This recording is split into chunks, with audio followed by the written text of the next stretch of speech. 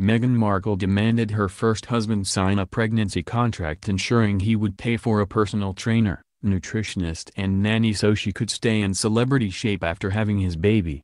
Meghan Markle made her first husband agree to a pregnancy contract to make sure she was afforded every possible luxury if she gave birth to their child, a close friend has revealed to Daily Mail.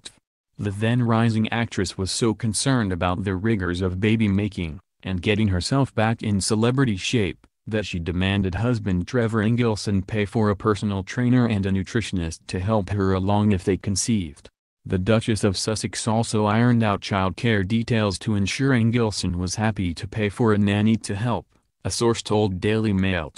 The revelation comes just days after Meghan and Prince Harry revealed they were expecting their first child and gives a whole new meaning to the saying too posh to push. Daily Mail has reached out to Kensington Palace for comment. Pregnancy contracts are increasingly popular in the U.S particularly in the Duchess hometown of Los Angeles. Although they tend to cover parental responsibilities after giving birth, such as the division of household duties, and according to the insider Meghan was focused on making sure she did not lose her figure. At the time of the agreement, said to have been a couple of years after her 2011 wedding to producer Engelson, Meghan was finally getting success with TV series Suits. It came up at a time when they were considering having a family, at some point in the near future, said the friend, who was once close to the Duchess.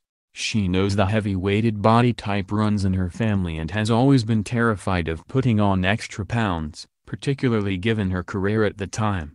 Anytime she puts on a bit of weight, it shows on her face, so she wanted to make sure she would be camera-ready very quickly. She demanded a personal trainer and nutritionist during and after the pregnancy. I'm sure a nanny was discussed too but the main focus for her was on health and weight. The friend added, Meghan may have only just joined the royal family, but she always wanted to be treated like a princess. The friend said that no lawyers were involved in the agreement with Meghan penning an informal document for her husband to sign. But the Duchess, 37, was deadly serious about the contract and Engelson had no choice but to agree. The friend said, she says she got him to sign something, Maybe just a handwritten letter that she could hang over his head. You know what they say, happy wife, happy life. He knew he married someone who was very concerned about her image, and at times very insecure about her body, so he just went along with it. She wouldn't have taken no for an answer and he knew it. But the end of her marriage came before they could take any of the plans forward. Long Island native Engelson, 42, and Meghan met in 2004 before she became famous on Suits and dated for six years before getting engaged in 2010. The former couple married in a beachfront ceremony at the Jamaica Inn in Jamaica in September 2011 in front of 100 family and friends. But their relationship grew strained as Meghan left to film Suits in Toronto, Canada, while Engelson stayed at their home in Los Angeles. The distance eventually took its toll and they separated in the summer of 2013. Their marriage officially ended in 2014 with irreconcilable differences cited in their divorce papers. Engelson, like Meghan, has since moved on and Daily Mail revealed he married nutritionist Tracey Kurland in a low-key ceremony in California earlier this month. Fortunately now that Meghan is part of the royal family, her image is already being carefully looked after, and she can expect every luxury imaginable.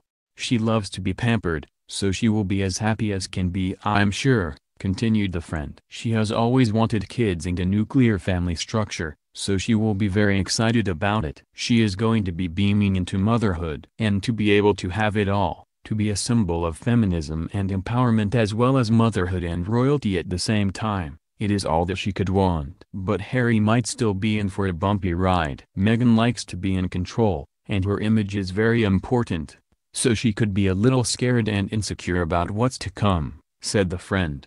I hope he is ready to hold her hand and let her be the center of attention. Of course her own problems with her father are well documented, so she will be setting Harry some very high standards. She has essentially dismissed her father to be with him so she will be expecting him to step up for sure. Meghan is currently in Fiji with Prince Harry, 34, on a royal tour. The royal father-to-be raised a toast at a state dinner Tuesday. During a cycling event at the Invictus Games in Sydney on Sunday he revealed he wants his first child to be a girl.